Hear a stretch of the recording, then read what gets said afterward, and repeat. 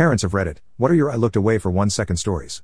Not me, but my wife. Our two younger kids are 14 months apart. When our daughter was around three and our son was two, my wife went into the garage to grab a frozen pizza out of the deep freezer, and one of the kids, not sure which one, shut the door and locked my wife in the garage. She was banging on the door and could hear the little boogers in there laughing at her.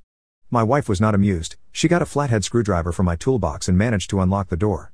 This all took 15 minutes or so. When she got in the house, they were in their room watching cartoons and eating cookies they managed to steal. They would have left her out there all night. It's funny now 10 years later, but my wife was scared shitless. I had been drinking scotch one evening while doing dishes, so I'm standing at the sink. I hear my three year old stumble into the room, pull a chair out from the table, and climb up.